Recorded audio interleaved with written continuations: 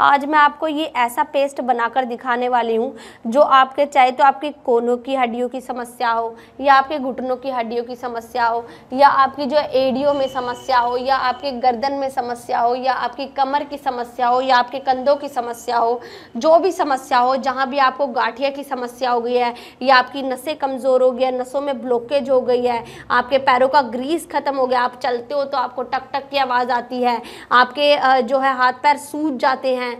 तो इन सभी समस्याओं को दूर करने के लिए मैं आज ये पेस्ट लेके आई हूँ। ये पेस्ट बनेगा कैसे और इसका इस्तेमाल कैसे करना है, ये मैं अभी आपको करके दिखाने वाली हूँ। तो सबसे पहले आपने क्या करना है, यहाँ पे आपने गुड़ लेना है। आपने थोड़ा सा जो है, आपने गुड़ ले लेना है और उसको जो है, आपने कूट लेना है।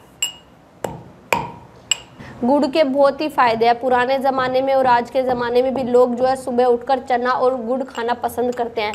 इससे क्या होता है, हमारे शरीर की जो हड्डियाँ हैं, उनको मजबूती मिलती है और हमारा जो शरीर है, वो बिल्कुल जो है एनर्जी भरा रहता है। आपने देखा होगा, हमारे जो घुटने हैं, इससे बहुत ही ज़्यादा, जो है मज़बूत हो जाते हैं। अगर आपको नसों की कोई दिक्कत, आपकी नसें कमज़ोर हैं या आपकी नसें बहुत ज़्यादा वीक पड़ गई हैं तो उन सभी समस्याओं को जो है दूर करने के काम आता है। तो अपने क्या करना है? ये गुड़ का आपने जो है इसको पीस कर जो है इस तरीके से आपने पेस्ट बना लेना है। सिर्फ़ आपने दो चम्मच जो है गुड़ का पेस्ट लेना है। इसके बाद आपने इसमें मिलाना कैसे है? इसके अंदर मिलाना क्या है? और फिर इसका इस्तेमाल कैसे करना है कौन से कौन से पार्ट पर इस्तेमाल करना है, ये मैं अभी आपको बताने वाली हूँ। तो इसके बाद आपने क्या करना है, हल्दी लेनी है। हल्दी जो है, आपने आधा चम्मच जो है, हल्दी लेनी है। हल्दी जो होती है, वो हमारे शरीर के लिए बहुत ही ज़्यादा फ़ायदेमंद है।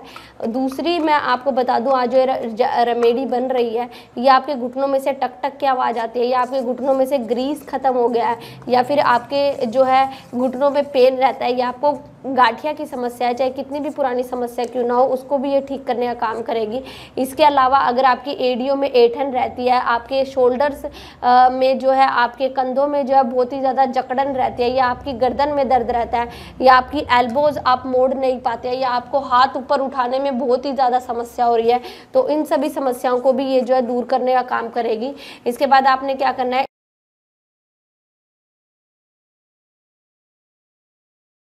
दो चम्मच आपने जो है सरसों का तेल जो है आपने डाल देना है।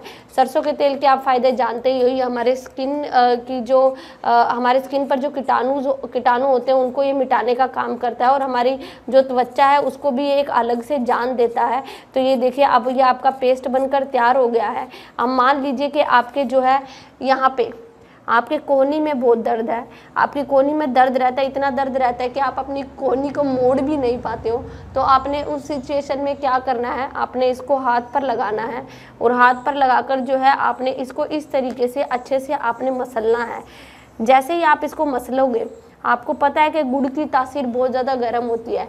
जब आप इसको इस पर लगाओगे, अपने एल्बो पर लगाओगे, अपनी कोहनी पर लगाओगे या अपने घुटनों पर लगाओगे तो इससे क्या होगा, आपकी जो गर्माहट है गुड़ की गर्माहट है या हल्दी की गर्माहट है या सरसों के तेल की गर्माहट है, ये तीनों गर्माहट जो है आपके स्किन के अंदर तक जाएगी, यानी हड्डियों तक जाएगी और आपकी हड्डियों में जो ब्लड सर्कुलेशन रुकने की वजह से आपके जो कोनी में दर्द रहता है या आपकी कोनी अकड़ चुकी है, आपकी कोनियों की फ्लेक्सिबिलिटी ख़त्म हो गई है तो उन सभी समस्याओं को जो है ठीक करने का काम करेगी। आपने दो मिनट तक इसी तरीके से आपने मसाज करनी है और दो मिनट मसाज करने के बाद आपने जो है ठंडे पानी के साथ अपने हाथों को धो लेना है। आपके घुटनों में दर्द रहता है। आपके यहाँ पे गाठिया की समस्या हो गई है। आपको जो घुटने के नीचे भी दर्द रहता है, यहाँ आपके साइड में बहुत ज़्यादा पेन रहता है या आपकी ग्रीस खत्म हो गया आप थोड़ा सा चल रहे हो, आपको टक टक की आवाज़ आ रही है, आपको सीढ़ियाँ चढ़ने में परेशानी हो रही है या आप जो खाना बनाते समय खड़े भी नहीं हो पाते हो ढंग से तो उस सिचुएशन में भी मैं आपको बता दूँ, आपने ये पेस्ट लेना है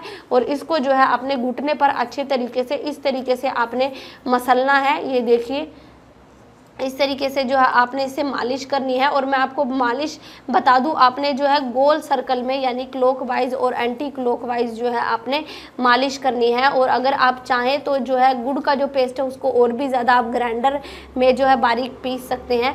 इसके बाद जो है आपने कुछ नहीं करना है। इस तरीके से दो मिनट तक आपने क्लोक वाइज और एंटी क्लोक वाइज आपने मसाज करनी है और फिर मसाज करने के बाद आपने क्या करना है, इसको इसी तरीके से दो मिनट तक लगे रहने देना है। इससे आप आप समस्या ना लें, कभी आप ये सोचेंगे कि आपकी पैर पर चीटी आ जाएँगी या कोई और समस्या हो जाएगी, इससे कोई भी समस्या नहीं होगी। इससे क्या होगा, आपके जहाँ भी हड्डियों का पेन है, वहाँ आपको बहुत ही ज़्यादा गर्माहट मिलेगी। गर्माहट मिलने की वजह से आपका ब्लड सर्कुलेशन चलेगा। आपके टक टक की आवाज़ आ रही थी, आपकी नसों की ब्लॉकेज थी, आपके नसों में कमज़ोरी आई हुई थी, या आपकी नसें जो है सूखी पड़ी हुई थी, या आपको गाठिया की समस्या हो रखी थी, या आपके घुटनों का ग्रीस खत्म हो गया था, जिस वजह से आपको समस्या हो रही थी, ये सब समस्याएँ आपकी जो है यहाँ से बिल्कुल गायब हो जाएगी। और अब दो मिनट तक आपने इसको लगाने के बाद जो है आपने इसको साफ़ कर लेना है। इसको आप ठंडे पानी से यानी गुनगुने पानी से आप इसको साफ़ कर सकते हैं। और अगर आप हमारे चैनल्स की और भी वीडियोज़ देखना चाह रहे हैं तो हमारे पेज को लाइक ज़रूर कीजिए। धन्यवाद।